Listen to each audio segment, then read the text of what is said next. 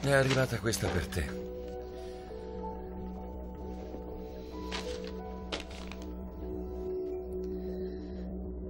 Sapere è sempre meglio di non sapere.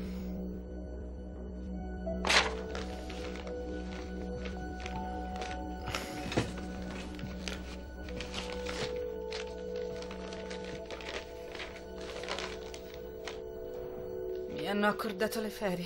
Già. Questo invece è il risultato del test.